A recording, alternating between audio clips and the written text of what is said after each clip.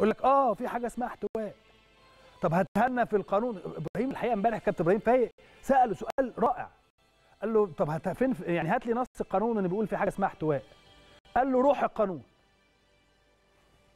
يعني والله بجد يعني حاجة يعني بصراحة تخليني أبقى يعني مش قادر أتكلم.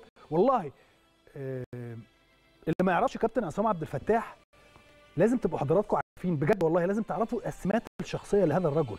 السمات الشخصية لهذا الرجل هو رجل محترم جدا. ومنضبط وحاسم وحاد وكل حاجة. فأنا مستغرب جدا جدا جدا. ما هو ده؟ أنا عارف عصام كابتن عصام عبد الفتاح ده اللي هو الراجل اللي أنا بتكلم عنه. رجل المنضبط الكذا الكذا الكذا. وبلاقي تصريحات غريبة جدا جدا. لا تليق باسم كابتن عصام أصلا. أصلا.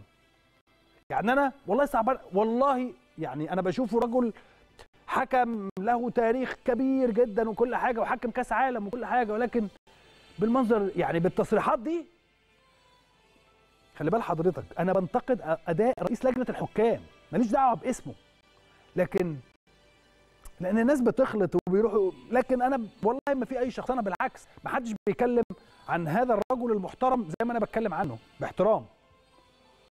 لكن يعني يا كابتن عصام كل يعني يا كابتن عصام عبد الفتاح رفقا بتاريخ كابتن عصام عبد الفتاح. والله بجد والله. يعني مش كده يا كابتن عصام؟ مش كده؟ الكلام التصريحات حضرتك الفترة اللي وقفت فيها عن التصريحات الدنيا كانت حتى لو في أخطاء وبنطلع نتكلم فيها ما كانتش الدنيا بتبقى بهذا الشكل.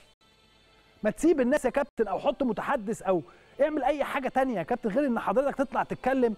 تقول الاحتواء. فابراهيم بصراحة زي ما بقول لحضرتك إبراهيم فايق ساله سؤال رائع. قال له طب فين في القانون النص اللي بيقول هذا الكلام؟ قال له ده روح القانون. زي ما قلت لحضراتكم روح الحلقة روح البدلة روح ما يا جماعة مش كده.